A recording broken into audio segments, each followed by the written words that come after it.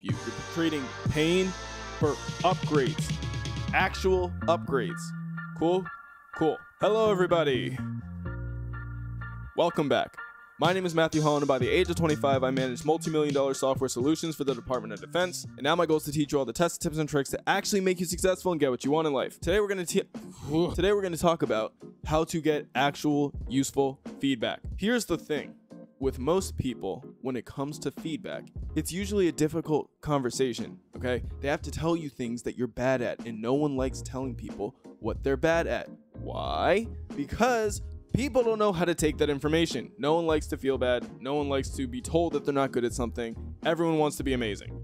Sucks. That's not how the world works, and you have to be sucky before you can be good. This being said, there is a way around it. The way you get around that rough conversation is you give them permission to hurt your feelings. I am not telling you this from a you should do this. I'm strictly telling you this is how I do it, and this is how I've got results, and this is how I have got genuinely useful feedback to improve faster than anyone else, from my perspective. There are a couple caveats that come with this. One, you have to gain thick skin, okay?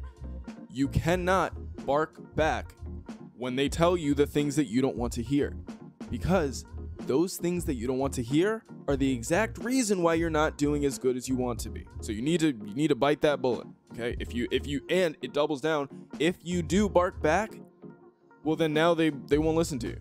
Like they they'll actually keep feelings inside the mix. You won't actually know whether like the feedback is honest or not, or you'll have to do more digging and that adds more time to the equation. The second piece, you absolutely have to mean it when you tell them this. Now, granted, what are you going to tell them? Sorry, I'm getting ahead of myself. The thing that I do when I ask these people for feedback is that I will tell them to give me brutally honest feedback. I want 100% honesty. I want to completely omit feelings from what they're about to tell me. What that does is it gives them permission to hurt my feelings. It gives them permission to not take my feelings into account. And it gives them permission to actually just cut all the bullshit and give me only the stuff that will help me improve. Why? Feelings get in the way of getting your honest intentions sometimes. People don't know how to put things in a nice way, and rather than try to figure it out or take a minute, they just sugarcoat things, and sometimes the sugarcoating is too much. It is what it is. By omitting feelings from the conversation, you allow them to just straight up say whatever it is that they need to say, and then you get to look at that objectively and be like, is this something I want to absorb, or is this something I don't want to absorb? Sorry, I don't want to absorb, I do want to absorb. So this is the part where, you know, I, I kind of went out of order here, but that's the part where like once you once you ask them, give me honest feedback, I'm giving you permission to hurt my feelings. You have to mean it. You 100% have to mean it.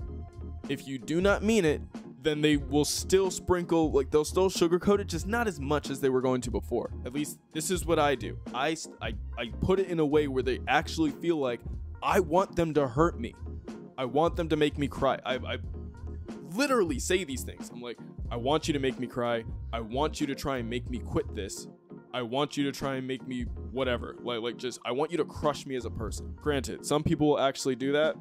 And then it comes down to like sifting of, of do they actually mean it? Like use use your your discretion, you know? Like you use your own judgment. But when you give them the permission to say what they actually feel and say what you need to hear, you'll get the feedback you need. And then it comes down to are you going to absorb it or not? But that's on your end rather than having to cut through the sugar coating layer and then figure out if you're going to absorb it. You can just skip to the absorbing part or not absorbing. It's up to you at that point. I found that sifting through trolls, and this is because, you know, on the internet, sifting through trolls or just non constructive criticism is easier than trying to sift through emotion. That might be me personally, but that's what I've found. If you're looking for growth minded, success oriented individuals that will actually give you feedback to help, uh, join my Skool community or the Facebook group. We have both of them now. Link is in the description, and that's it. That's all I wanted to tell you. These are the things that I found for me. My name is Matthew Holland. Thank you so, so much for joining me once again. I will see you in the next one.